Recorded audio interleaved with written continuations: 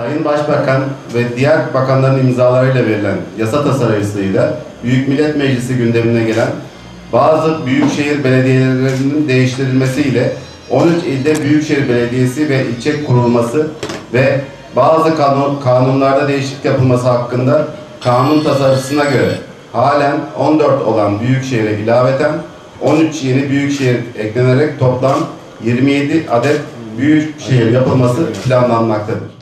CHP Bodrum İlçe Başkanlığı'nda bir basın toplantısı düzenlenerek Türkiye'de çok sayıda belde belediyesinin kapanmasını öngören yasa tasarısının yeniden gözden geçirilmesi, belde halkının referandumla görüşlerinin alınması istendi. CHP ilçe başkanı Okan Özsu yaptığı basın açıklamasında getirilen yeni sistemin Avrupa Birliği yerel yönetimler şartına uymadığını belirterek şunları söyledi. Avrupa yerel yönetimler şartında kamu sorumlulukları tercihen vatandaşa en yakın olan en yakın olan makamlar tarafından kullanılacaktır. Sorumluluğun bir başka makama verilmesinde görevin kapsam ve niteliği ile yetkinlik ve ekonomik gerekleri göz önünde bulundurulma, bulundurulmalıdır. Ayrıca yerel yönetimlerin sınırlarında mevzuatın el verdiği durumlarda ve mümkünse bir referandum yoluyla ilgili yerel topluluklara önceden danışılmadan değişiklik yapılamaz denilmektedir. Getirilen yeni sistem yerinden yönetim ilkesine uymuyor. Köy düzeni kaldırılıyor.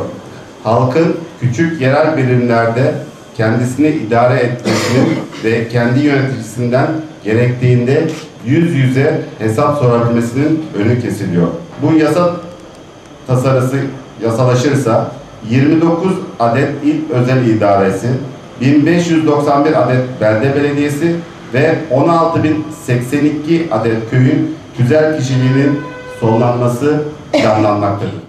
Özsu, Turgut Reis beldesinde pazar günü yapılan oylamada 3336 kişinin oy kullandığını ve bunların 3324'ü kişinin beldenin kapanmaması yönünde oy kullandığını açıkladı. İlçe Başkanı Özsu ayrıca Turgut Reis son seçmen listelerinde isimleri bulunmayan 1076 kişinin de beldenin kapanmaması için imza verdiğini açıkladı. Yerel seçimlerle halk yöresini idare eden ve yüz yüze temas etme imkanı bulduğu yerel yöneticilerin ve muhtarları seçmekte, demokrasi kültürü tabana yayılmakta ve gelişmekteydi.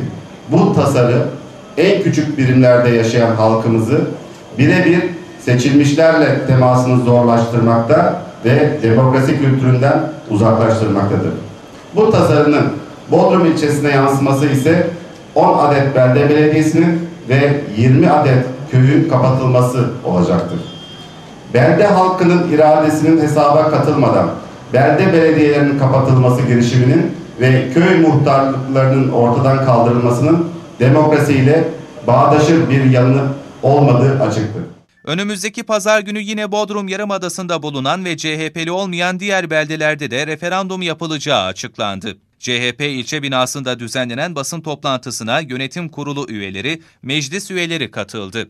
Toplantıya katılan Turgut Reis Belediye Başkanı Mehmet Dinçberk de 1967 yılında kurulan Turgut Reis beldesinin birçok ilçeden büyük olduğu ifade ederek beldesinin ilçe olması gerektiğini söyledi. Ayrıca Turgut Reis'in ilçe olması için tüm partiler görüş birliği içinde olduklarını söyleyerek 9 bin imza toplayıp bakanlığa ilettiklerini söyledi.